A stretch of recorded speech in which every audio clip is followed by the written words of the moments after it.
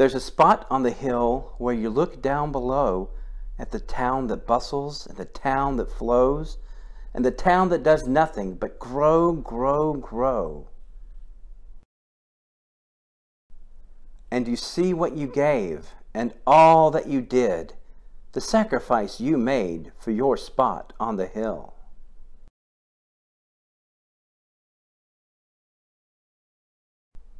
Ahoy! Ahoy there! Do you know what it is to go sailing? To have the breeze in your hair and the salt in your nose and see nothing but blue for miles and miles? Do you know what it is to be alone, completely alone in the stillness and have everything you need? The water is my home, not dry land, and that is why I left.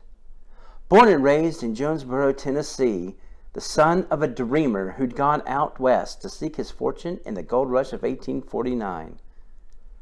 My father settled in Jonesborough to become a merchant, to marry, and to make a family. I was born into a life on land in a town with nothing larger than a creek. I was born to a mother and father with all the promise in the world, but prospects change. My mother died when I was three, and my father followed when I was ten. My brother Hugh died before I was born. My sister Adelaide died before she was a year old. Then there was the baby.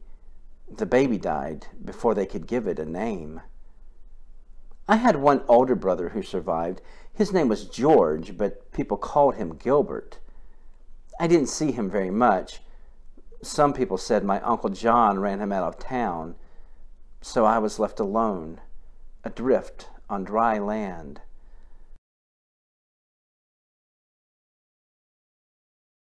You kept me from starving, Uncle John, and I will be forever grateful for that. But I did not want your life. Everyone in town knows John D. Cox. Fortune smiled on him in 49, and it smiles on him now one of the most successful merchants in town, a businessman, an entrepreneur, upwardly mobile, and everyone knows me too. Poor Will Cox, who lost his mother and father. Poor Will Cox, adrift on dry land. I did not want your life, uncle.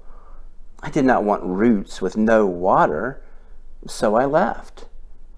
I turned to the sea and I enlisted in the United States Naval Academy. A man's got to have prospects. You and father taught me that. The two of you chased a dream all the way to the west coast, a dream of gold. But my gold cannot be found in hard rock.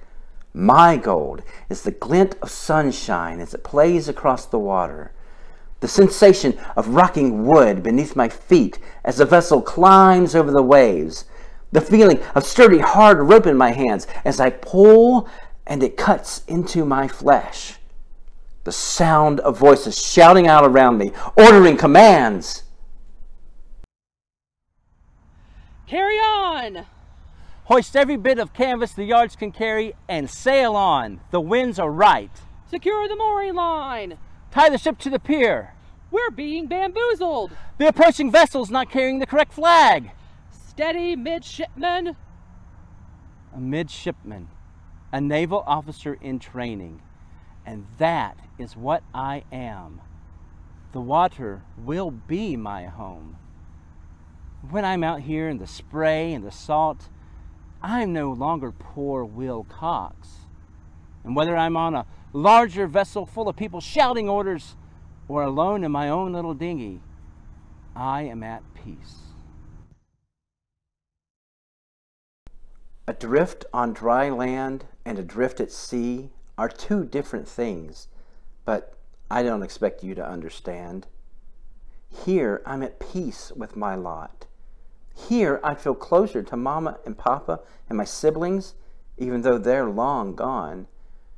This blue expanse reaching out to the sun, this is my freedom, a blank canvas a chance to start over.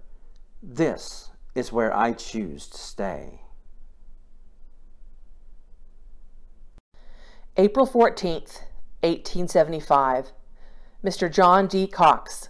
With profound sorrow, I inform you that Cadet Midshipman W. H. Cox was drowned this morning by the upsetting of the shell of his boat club. C.R.P. Rodgers, Rear Admiral, Superintendent.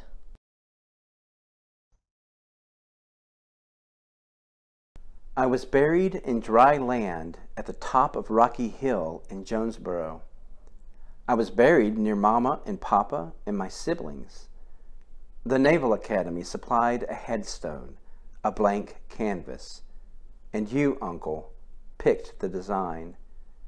An overturned boat, a paddle, and two hands reaching out of the water, reaching for sunlight, reaching for air, reaching for life.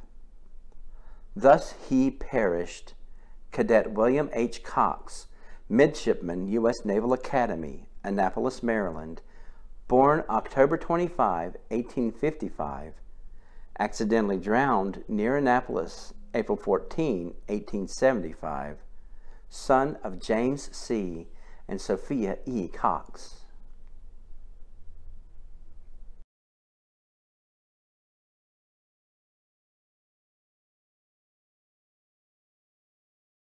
Thus he perished. Poor Will Cox. Everyone who sees my tombstone will know that the sea took my life, but they won't know the whole truth, that it also gave life to me.